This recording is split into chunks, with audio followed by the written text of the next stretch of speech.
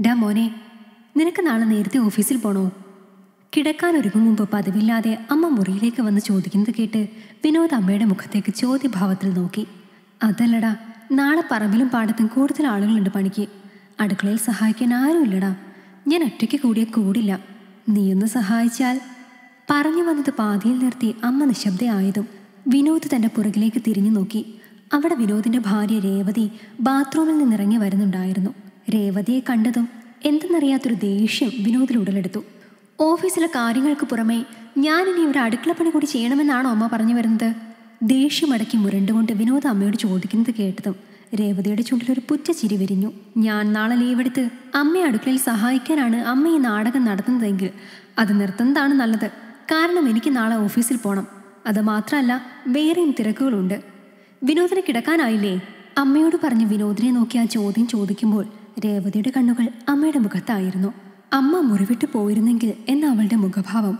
ആ മുഖത്ത് നിന്ന് തിരിച്ചറിഞ്ഞ അമ്മ മുറിവിട്ടിറങ്ങി. രേവതി തനിക്ക് ഇടയ്ക്കെങ്കിലും അമ്മയെന്ന് സഹായിച്ചൂടെ ഇതെല്ലാം നമുക്ക് വേണ്ടി തന്നെയല്ലേ? വിനോദ് ശബ്ദം താഴ്ത്തി രേവതിയോട് ചോദിച്ചു. എന്താണ് വിനോദ് നമുക്ക് വേണ്ടിയുള്ളത്? ഈ പാടത്തെയും പറമ്പിലെയും പണിയാണോ? കണ്ണുകൾ കുറുക്കി പ്രത്യേകം ഒരു ഭാവത്തിൽ രേവതി ചോദിച്ചതും വിനോദൊന്ന് പതറി. എന്താ വിനോദിന് ഉത്തരമില്ലേ ഞാൻ ചോദിച്ചതിന്? ഉത്തരം ഉണ്ടാവില്ല. എനിക്കറിയാം.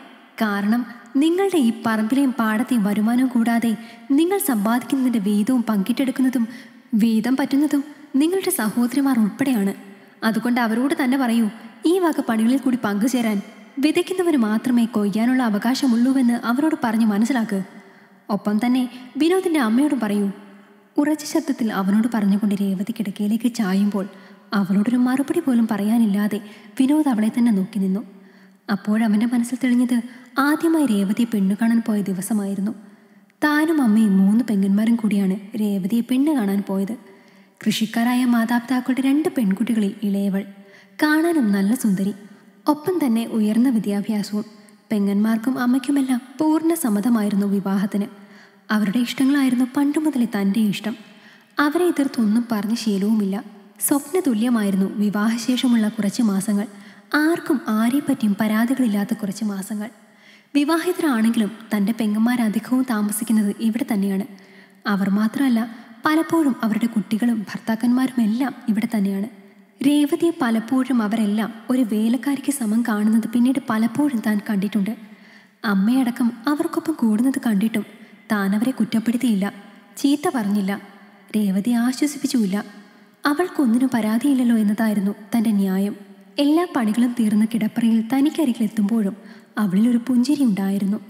ഒടുവിൽ തന്റെ ആവശ്യങ്ങളും അവളിൽ തീർത്ത് താൻ മയങ്ങുമ്പോഴും ഒരു പുഞ്ചിരിയോടെ ഉറങ്ങാതെ അവൾ ഉണർന്നു കിടന്നിരുന്നു പലപ്പോഴും. ചില സമയങ്ങളിൽ അത്ഭുതപ്പെട്ടിട്ടുണ്ട് അവളെ നോക്കി. ഇവൾക്കൊരു ക്ഷീണവുമില്ലേ എന്നോർത്ത്. ഒരു പരാതിയുമില്ലേ എന്നോർത്ത്.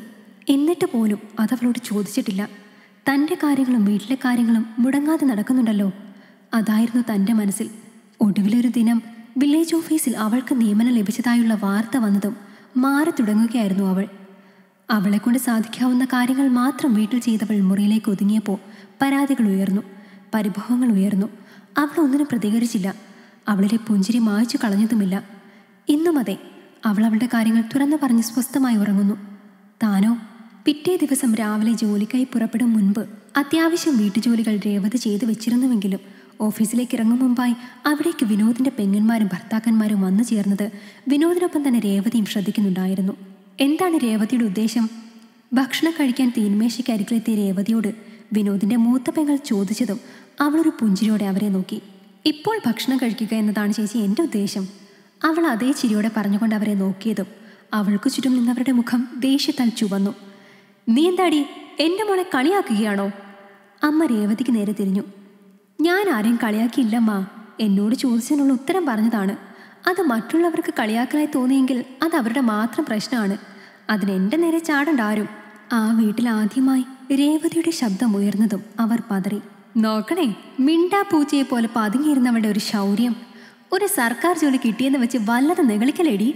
വിനോദിന്റെ രണ്ടാമത്തെ പെങ്ങൾ രേവതിക്ക് നേരെ ശബ്ദം ഉയർത്തിയപ്പോൾ രേവതി ഒരു നോട്ടം അവരെ നോക്കി. ഒപ്പം ഭിത്തിച്ചാരി ഇതിലൊന്നും പങ്കുചേരാതെ വെറും കാഴ്ചക്കാരനായി നിൽക്കുന്ന വിനോദിലും അവളുടെ മിഴികളൊന്ന് പാറി വീണു. ഞാനൊരു മിണ്ടാപ്പൂച്ചിയൊന്നും അല്ല ചേച്ചി. പറയാനുള്ള കാര്യം ഞാൻ എവിടെയും പറയും. അത് ജോലി കിട്ടിയതിന്റെ നികളിപ്പ് കൊണ്ടല്ല. മറിച്ച് ഞാൻ ചെയ്യുന്നതിലെ തെറ്റും ശരിയും എനിക്ക് വേർതിരിച്ചറിയാവുന്നത് കൊണ്ടാണ് നിനക്ക് അഹങ്കാരം തന്നെയാടി. അല്ലെങ്കിൽ വന്ന നാൾ മുതൽ ഈ വീട്ടിലെ മുഴുവൻ ജോലികൾ നോക്കിയിരുന്ന നിനക്ക് ഇപ്പോൾ മാത്രമെന്താ അതിന് പറ്റാത്തത്? മൂത്ത പെങ്ങളാണ്. ഈ വീട്ടിലെ മുഴുവൻ ജോലിയെന്ന് ഉദ്ദേശിച്ചത് നിങ്ങളുടെ നിങ്ങളുടെ ഭർത്താക്കന്മാരുടെയും അടിവസ്ത്രങ്ങൾ ഉൾപ്പെടെ അലക്കി നിങ്ങൾക്ക് ഓരോരുത്തർക്കും ഇഷ്ടാനുസരണം വെച്ച് വിളമ്പി തന്നിരുന്നതിനെയാണ് ഉദ്ദേശിച്ചതെങ്കിൽ ആ പണി ഞാൻ നിർത്തി. രേവതി വിനോദ ശബ്ദമുയർത്തി വിളിച്ചതും മുഖത്ത് യാതൊരു ഭാവഭേദവുമില്ലാതെ രേവതി അവനെ നോക്കി. നീ എന്തൊക്കെയാണ് ഈ വിളിച്ചു പറയുന്നതെന്ന് നിനക്ക് വല്ല ബോധമുണ്ടോ രേവതി? ഞാൻ ഈ വീട്ടിൽ ചെയ്തത് മാത്രമേ ഞാൻ വിളിച്ചു പറഞ്ഞിട്ടുള്ളൂ വിനോദ്. നിങ്ങളതൊന്നും കാണുകയോ കണ്ടപ്പോൾ കണ്ട ഭാവം നടിക്കുകയോ ചെയ്തിട്ടില്ല. പിന്നെ എന്തിനിപ്പോൾ മാത്രം ശബ്ദമുയർത്തുന്നു? രേവതി വിനോദിന് നേരെ തിരിഞ്ഞതും അമ്മയും പെങ്ങന്മാരും പരസ്പരം നോക്കി. നിങ്ങളെല്ലാവരും എന്റെ ആണെന്ന തോന്നലിൽ തന്നെയാണ് ഞാൻ നിങ്ങളെല്ലാം സ്നേഹിച്ചത്. പക്ഷെ നിങ്ങളെന്നിൽ കണ്ടതൊരു വേലക്കാരിയെ മാത്രമാണ്. അങ്ങനെ ഒരു സ്ഥാനം എനിക്കിവിടെ വേണ്ട എന്നെനിക്ക് തോന്നിയപ്പോൾ ഞാനത് നിർത്തി. അത്രമാത്രം പിന്നെ ഇപ്പോൾ ഈ സംസാരമെല്ലാം ഉണ്ടായത് ഇവിടുത്തെ വീട്ടുജോലി ചുറ്റിപ്പറ്റിയാണല്ലോ. ഈ ഒരു വീട്ടിലെ അത്യാവശ്യം എല്ലാ കാര്യങ്ങളും ഞാൻ ഇന്നും എന്നും ചെയ്യാറുണ്ട്. ചെയ്യാത്തത് പുറം പണികളാണ്. അതിന് കാരണവുമുണ്ട്. അത് ഞാൻ നിങ്ങളുടെ സഹോദരനോട് പറഞ്ഞിട്ടുമുണ്ട്. വിനോദ് പറഞ്ഞു തരാം നിങ്ങൾക്ക്. പിന്നെ നിങ്ങൾ അറിയാൻ വേണ്ടി പറയുകയാണ്. എനിക്ക് കിട്ടുന്നത് ഞാൻ തിരിച്ചു കൊടുക്കൂ. അതാർക്കായാലും എന്തായാലും. പിന്നെ ഇപ്പോൾ എല്ലാവരും ഇവിടെ തന്നെയുള്ള സ്ഥിതിക്ക് വേറൊരു കാര്യം കൂടി പറയാം. ഞാൻ ഗർഭിണിയാണ്. കുഞ്ഞിന് മൂന്ന് മാസമായി.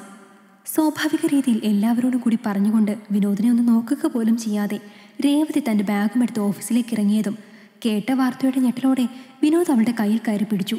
എന്തെന്നറിയാതെ അവന്റെ കണ്ണുകൾ നിറഞ്ഞിരുന്നു വന്നേരം ഇതെന്ന് എന്നോട് ആദ്യമേ പറഞ്ഞില്ല രേവതി? അമ്പരപ്പോടെ വിനോദ് ചോദിച്ചതിന് മറുപടിയായി രേവതി ഒന്ന് പുഞ്ചിരിച്ചു. പക്ഷെ ഇപ്രാവശ്യം അതിൽ വേദന തിങ്ങിയിരുന്നു.